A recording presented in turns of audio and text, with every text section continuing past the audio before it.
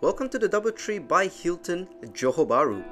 This hotel, just located 5 minutes away from the Johor Bahru checkpoint, is the most luxurious hotel currently available in Johor Bahru. To know exactly how much I paid for this property, please check in the description below. And as always, I would really appreciate it if you can like this video as well as subscribing to my channel. As usual, I'll be posting new videos every week, so stay tuned. Now, I always believe that first impressions are important, and this cookie was my first impression of Doubletree by Hilton Johor Bahru. It was crunchy, it was fresh, and most importantly, it was really warm, so that's fantastic. I was also told that there is a shuttle service that goes to Mid Valley and JPO, which is an added bonus. Now one thing I absolutely love about Hilton properties is the app itself. I was able to book the exact room on the exact floor that I wanted to stay in the night before I actually check in. So that to me is double thumbs up. As a gold member with Hilton, I was also upgraded to the King Executive floor, which gives me access to the Executive Lounge which we will check out later. But first of all, let's check out my room which is the King Executive Room at room 3009.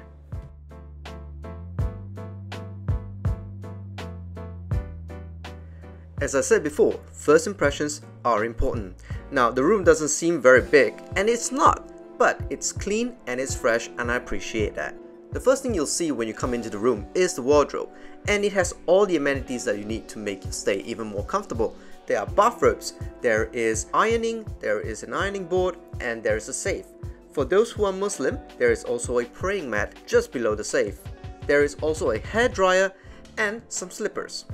Right behind the wardrobe is where you'll find all the teas and coffees that you'll need during your stay. Now, I know, a lot of people may be expecting something like a Nespresso machine, but hey, you have the lounge, so why not just pop down to the lounge and have yourself a cup of coffee or tea. There was also a kettle there, but then again, with the lounge access, I don't see a need to use this kettle, but it's safe to say that it is clean.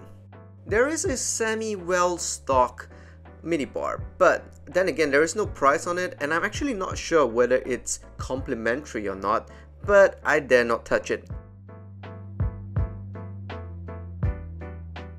The television in the room is of an adequate size and it has quite a few channels on it.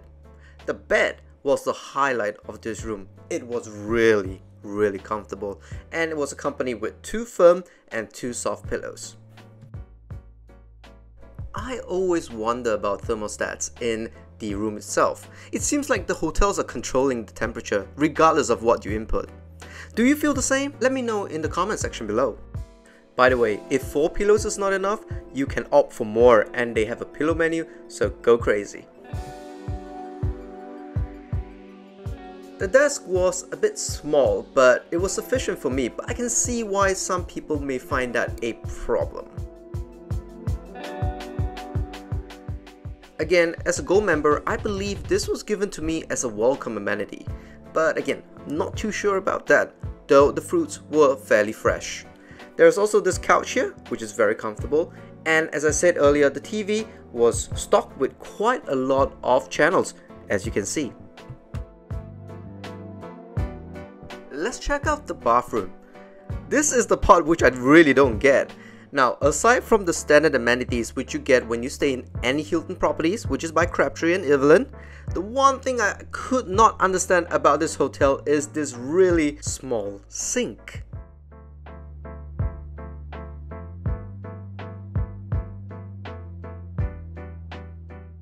There is no bathtub in this room, but there is a standard rainfall shower as well as a handheld. Now, remember those slippers from earlier? Yeah, you'll need them in this toilet because whoever designed this toilet did not design the drainage that well and every time you shower, water leaks out from the shower. The swimming pool is located on the 13th floor. Now, it's not the biggest pool you've seen, but is actually quite well designed. There is a lot of area for you to lounge around even in the pool itself Now, if you want to hang around the swimming pool but swimming is not your thing, there is also an Italian restaurant just right beside it and they actually have outdoor sitting areas as well. You can get a few pints of beer and enjoy a somewhat gloomy day in Johor Bahru. The in-house fitness center is interestingly located just right across the Italian restaurant and is open 24 hours a day to all the in-house guests. There is a few treadmills and a few exercise bikes. The weight section of this gym is not that impressive with only one bench, but there was hardly anybody that uses this gym, so that's okay.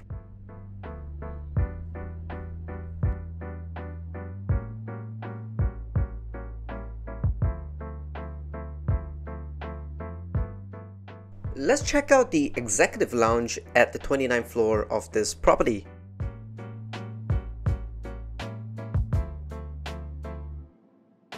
The lounge itself is filled with a lot of seating areas and you can actually do your checkout when you're at the lounge. The hotel actually allows you to stay in this lounge past your checkout time, which is fantastic.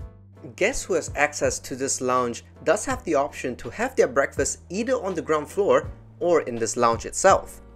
Beverages such as coffee, teas, soft drinks and fruit juice are also offered throughout the day, as well as some small cakes and cookies.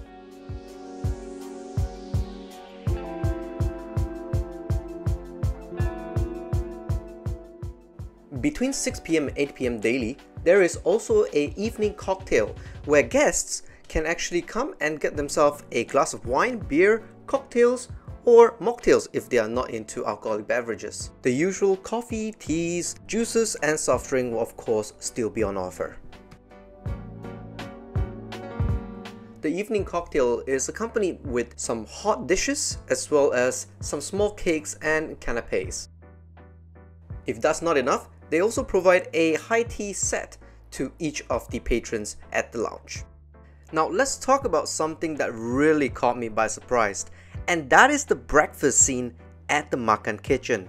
The sheer amount of food options was just incredible.